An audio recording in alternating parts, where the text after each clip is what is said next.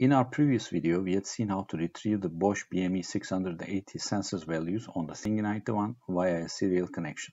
However, reading the values through a cable connection from a device which has both cellular and Bluetooth capabilities didn't seem any feasible, and I wanted to see if there was a smarter and wireless way to read those values. After a quick online search, I came across the Nordic UART service NUS as short. This is a custom service that receives and writes data and serves as a bridge to the UART interface. In this page, you can see the details of this service, its TX and RX characteristics, and etc. But this BLE service is disabled by default. To enable it, you should connect your Thingy91 to your PC with USB cable, and you should set the BLE underscore enabled line to 1 in the config.txt of the device. And you should safely disconnect the drive and the USB cable as indicated in the config.txt. So now on the right hand side you can see the screen of my iPhone which has NRF Connect for mobile installed. As we tap and open this app we can go to the scanner and tap on the play button to start scanning. Now we can see a list of the devices that are nearby however we don't see our thingy since it's not on yet.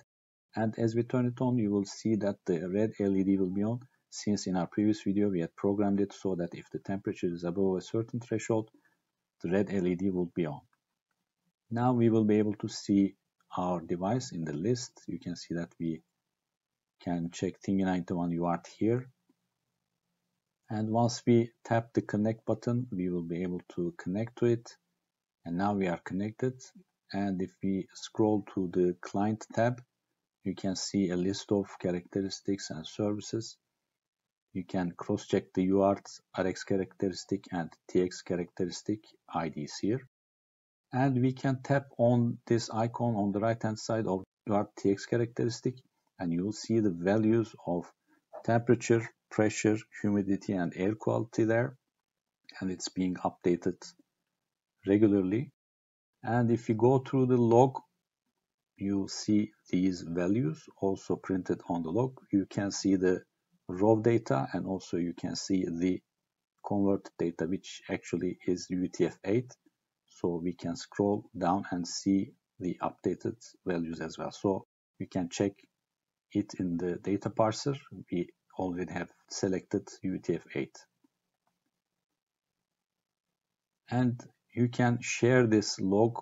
For example you can send it via an email or share via WhatsApp. And you can choose between formats. And you can filter the output that you'll see on the log. Now let's leave only application and also only the connected device. And you can see that we updated it. We are now just seeing the values that we are receiving. And there's a better way to see these values. If you click on the scroll lock, it will scroll automatically and you will see the updated values there. And if you tap this icon once again. You won't see those values on the log and you can tap on disconnect to disconnect from the device